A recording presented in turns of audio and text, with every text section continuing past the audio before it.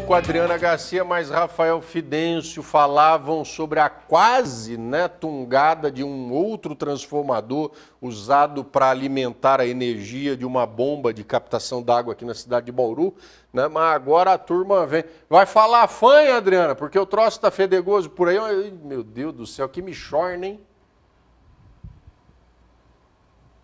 Nossa, pelo amor de Deus, que fedido, Rodrigo.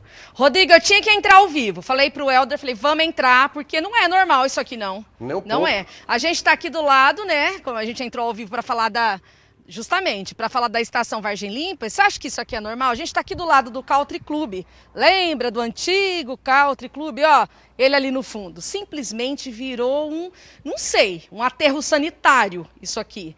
Tem de tudo. Tem coisa queimada Olha, lixo, galho, tem gente que vasculha o lixo aqui sem máscara, sem luva. Tinham senhores de idade agora há pouco aqui procurando, sabe, alguma coisa é, para levar para casa no lixo. Por quê? Porque aqui tem de tudo um pouco. Tem telha, né? Inclusive tem um monte de coco que eu queria saber se uma família consumiu esse coco no feriado. Isso aqui é coisa de gente que vende coco, gente, sabe?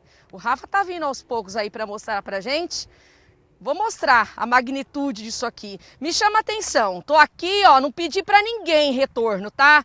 De DAI, de saneamento básico, de prefeitura. Estamos aqui para mostrar justamente porque alguém tem que fazer alguma coisa. Isso aqui não tá normal de jeito nenhum. Entendeu?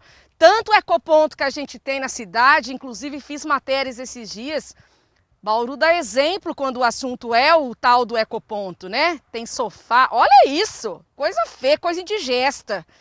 Pelo amor de santo Deus. Alguém tem que passar aqui. Inclusive, estava conversando com um funcionário do DAI para falar ali da Vargem Limpa, que ele está esperando a CPFL ali no carro até agora. Ele falou assim que hoje teve que passar uma máquina para o caminhão entrar na estação, porque não dava de tão abarrotado de lixo que estava entendeu? Então, assim, a minha imagem de protesto, meus amigos urubuzinhos foram tudo embora agora, me deixaram na mão. Tá. Mas a situação não tá boa aqui não, Rodrigo. 2h20 da tarde, imagens ao vivo, nossa equipe no local dos fatos e acontecimentos. Alguém precisa...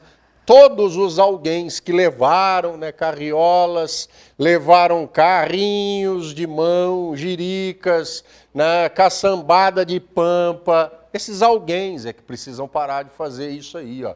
Custa caro depois para corrigir, custa caro. Pagamos todos nós que não sujamos pela pouquice alheia. Obrigado, Adriana Garcia.